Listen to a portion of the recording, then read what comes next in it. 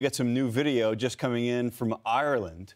The jet stream racing across the Northeast and into the Atlantic is actually fueling now a powerful storm. They're calling it Ciaran. Ireland is already seeing heavy rain ahead of the storm's arrival, and you can see the result of some of it on your screen right there. It's been targeting our neighbors across the pond. That's actually drone video from Northern Ireland. Huge amounts of rain led to the flooding.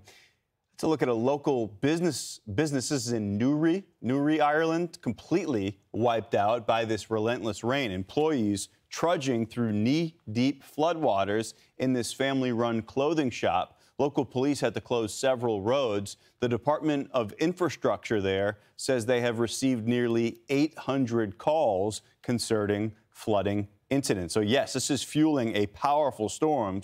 Uh, folks were even out navigating the streets with rowboats. Local authorities urged everyone there uh, to please exercise caution. But yeah, some awful flash flooding because of this powerful storm. I'm Amy Freeze. Welcome to Fox Weather's YouTube page. We have more great videos on the way, so make sure to subscribe to stay updated on all things weather.